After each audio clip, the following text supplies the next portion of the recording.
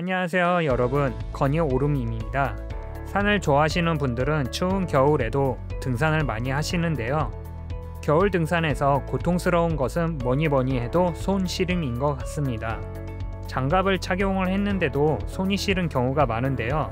특히 바람이 많이 불거나 그러면 운행 중에도 손이 시려워서 상당한 고통을 동반합니다.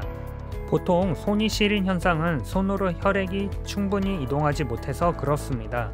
보통 하체 같은 경우 심장과 멀리 떨어져 있지만 등산 중 계속해서 움직이기 때문에 혈관을 수축 및 팽창을 시켜서 혈액의 이동이 원활합니다.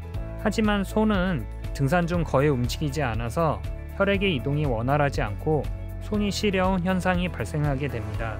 그리고 겨울처럼 추울수록 손과 발가락 같은 말단 부위에는 혈액을 보낼 때 우선순위에서 더더욱 밀리게 됩니다.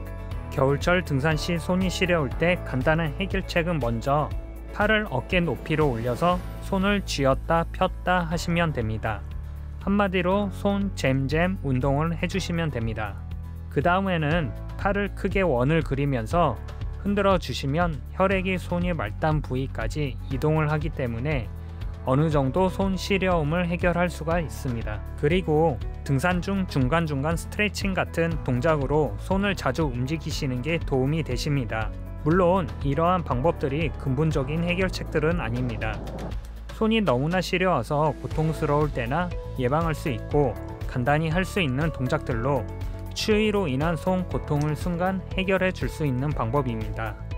손 시림 방지의 올바른 방법은 등산 장갑을 올바르게 착용하는 것이고 손을 자주 움직이시는 게 도움이 되십니다. 산을 좋아하시는 모든 분들 항상 추운 겨울 안전하고 건강한 산행이 되시길 바라겠습니다. 이 정보가 도움이 되셨다면 구독과 좋아요 부탁드리겠습니다.